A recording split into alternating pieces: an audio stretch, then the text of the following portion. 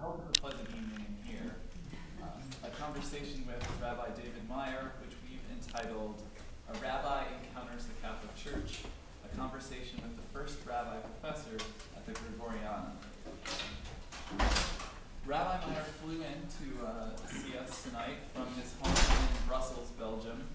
But lest there be any confusion, he's a French and Israeli citizen who has studied and worked many years in England and currently commutes to teach in Rome when he's not occasionally flying to China or somewhere else to teach.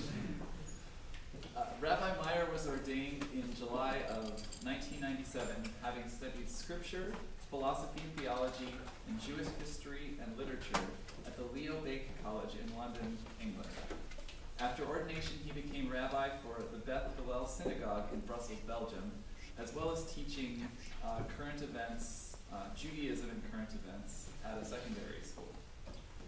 At that time, uh, he also began lecturing for the, uh, pardon my French, uh, Centre Juif de Formation, or CEJI, a European-based organization which promotes cultural, multicultural understanding in Europe and Jewish culture. Then from 2001 to 2006, he led the Brighton and Hove Reformed Synagogue in Brighton, England, while at the same time serving as a chaplain to a university, a hospital, a mental hospital, an airport, and a prison. and began to teach in his spare time. Uh, since March 2006, he's taught courses at many universities, including the Catholic University of Louvain, the Free University of Brussels, and Nanjing University in China. And since 2010, that list has included uh, the Gregorian Pontifical University in Rome, a world-renowned seminary known to its students as the Greg. And he's also written numerous articles in both French and English and published four books, is that correct? all of which have French titles I won't attempt to pronounce. Uh, and, uh, but, you know, a couple of them, Jewish and Christian Reflections on Universal Values and Social Bonds, um, and another was an examination of three Jewish thinkers on questions raised by the Holocaust, Shoah. So Rabbi Meyer will testify tomorrow before the U.S. Congress uh, before the Commission on Security and Cooperation in Europe, also known as the Helsinki Commission, as part of a panel on anti-Semitism, a growing threat to all faiths. And that panel will also include the president of the Catholic University of America, John Garvey. So this event grew out of um, an observation that Rabbi Meyer made to a friend of ours, um, Dr. Mark Milosh, that piqued our interest. There's a certain paradox in cur current Jewish and Catholic dialogue. In the wake of the Shoah, the Holocaust, many Jews are questioning their, their people's covenant with God. Yet at the same time, after Vatican II, the Catholic Church is vigorously affirming the enduring value of this covenant. And this asymmetry can be seen as an, as an occasion to just talk past one another, but it can also be an opportunity to learn from one another if we engage in a realistic dialogue. So Rabbi Meyer has fiercely engaged in these kind of dialogues in many settings, but we asked him to speak especially to us about his experience as a professor at the Greg, where he's educating future Catholic priests, church officials, theologians, in courses such as covenant theology, Jewish medieval commentaries, and Jewish theologies of the Shoah and their impact on Jewish-Christian dialogue. So we're eager to hear uh, your judgments about what you've learned from these encounters and what we can learn from them. And after the presentation, we'll have a question and answer session. Okay, thank you very much. John, thanks for, for those very kind words. Thank you for, for having me and for being present uh, here to, tonight. Uh, I will indeed try to, uh, to speak on the encounter somehow that I feel I'm extremely lucky to have uh, being a professor at the, uh, at the Pontifical University in, uh, in Rome. Um, and then obviously, as John said, to leave time for, for the questions after. Um, think there's one point that maybe is important, it's important to start with, is just to uh, clarify and to remember that I'm not the first Jewish teacher at the Greg. I mean, the Gregorian has had an history of having uh, teaching, first of all, about Judaism, uh, but also teaching by Jewish professors. Uh, and whether it is professors, obviously, from the US or professors coming through some exchange program with the University of Jerusalem, for example, they do have some Israeli professors coming. I mean, they do have that sort of a, of a counter. So I can certainly not claim to be the first Jewish professor there. But I think, though, uh, I am probably the first rabbi who is uh, officially a professor there. And I would say, in fact, maybe more than officially, because officially never really means that much.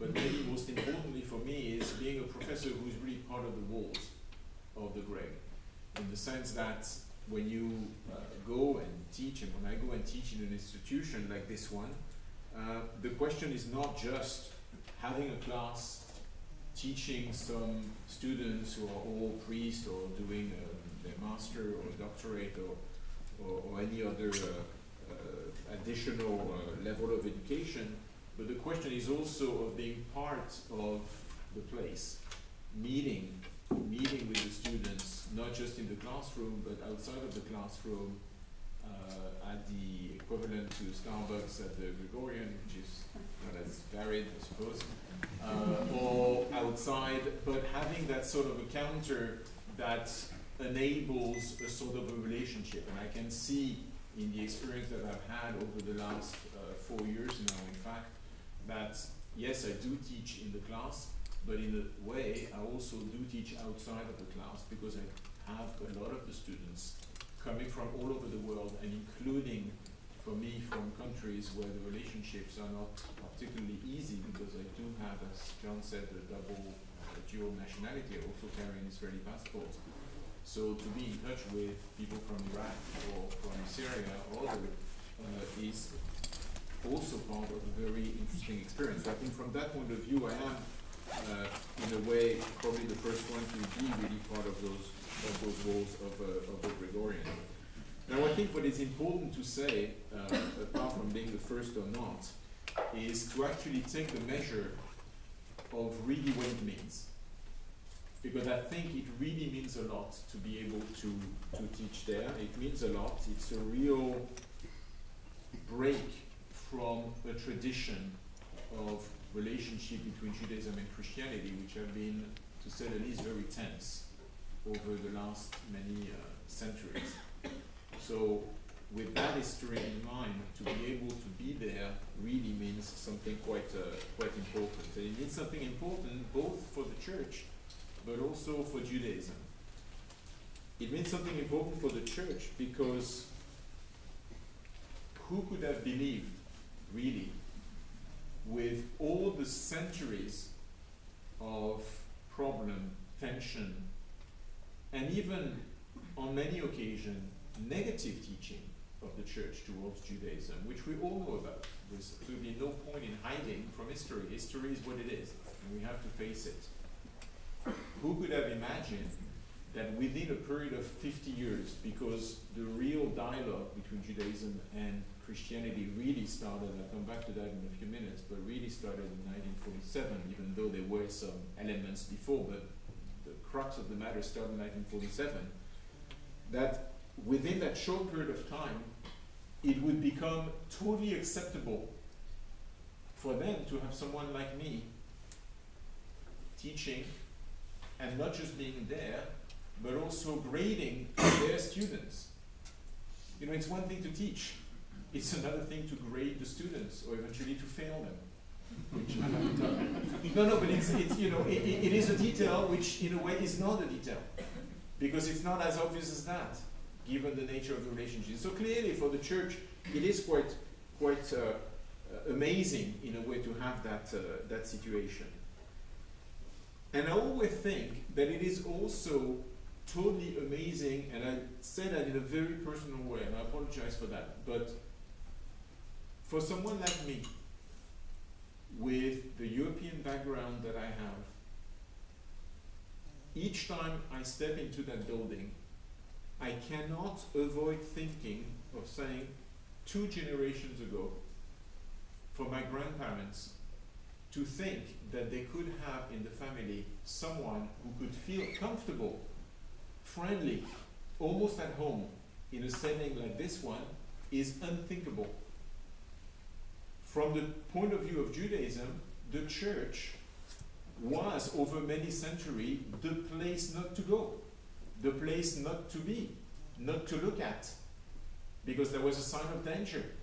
There was a sign of really you have to be careful. The relationship were in such a state that that was the reality.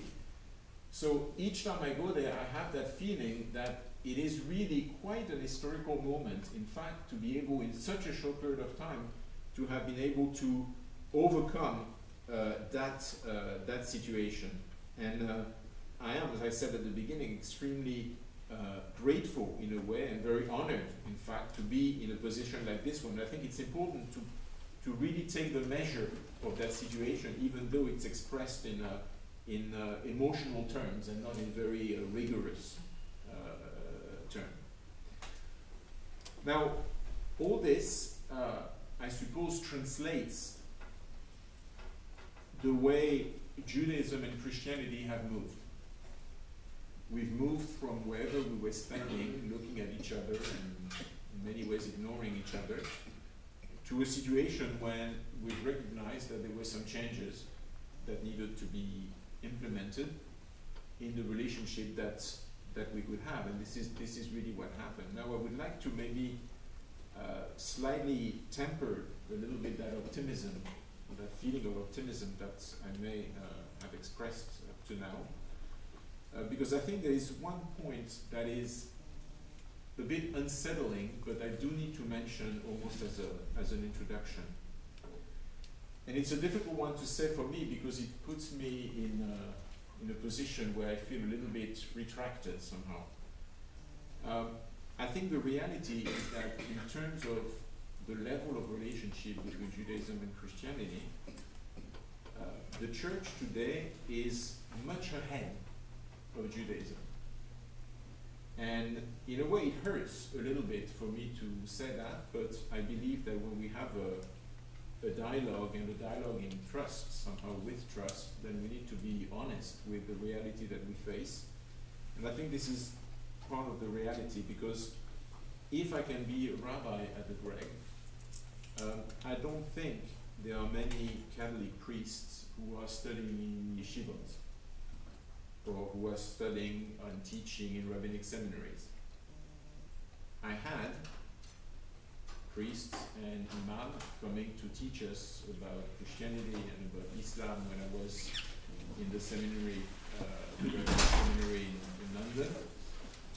But that was on a one-off sort of basis. They were coming in and out from time to time. We were just having a certain number of classes because we needed to know and to have a, little bit of a, a, wider exposure to other religion and not just about Judaism. But to my knowledge, we don't have an institution of absolute Jewish learning that is nothing equivalent to the Greg in Judaism because of the difference of structure between Christianity and Judaism, but nevertheless, it's not tomorrow that you would see a priest, a Catholic priest, coming and teaching, for example, at Jews College. Um, and that I think is something that needs to be taken into account because it actually shows that from that point of view, the church is a little bit ahead and from that point of view probably has a lot to teach. And a lot to teach us in Judaism in particular. Now, I know that of course that could be the result, and in a way it is the result, of the fact that we don't come to the dialogue with the same background and with the same history. And to avoid that point would be really to lack, uh, I think, intellectual honesty. Uh, we don't have the same background to that dialogue because through the prism of history, at least, the violence that was done was usually done by the church towards Judaism and not vice versa. And so clearly the need to rethink the relationship came more on one side than from the other side. That I can understand uh, that, uh, that reality. I think there's another reality which is this time not an historical reality but maybe a theological reality which is that Christianity is based at its origin at least on Jewish thinking and Jewish experience and Jewish books and Jewish references, and therefore it needs Judaism to understand itself. And this is one of the things, of course, that is done at the Greg is to bring back the teaching of Judaism so that the church can understand itself better as well, which of course lacks a parallel in Judaism. The parallel is obviously not the same. I mean, many are the Jewish thinkers who consider that Judaism can live by itself and for itself without any reference to Christianity, and to a large extent that is true.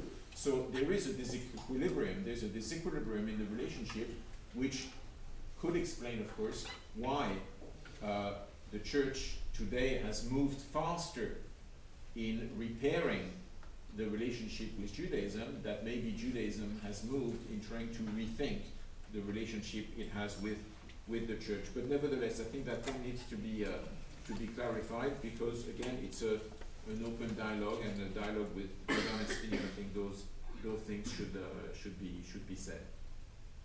Now, after those uh, words of brief introduction, if you want, um, I tell you what I would like to do within the, uh, the limited time that, that I have. Um, I'd like to divide my presentation, if you want, in three uh, small sections.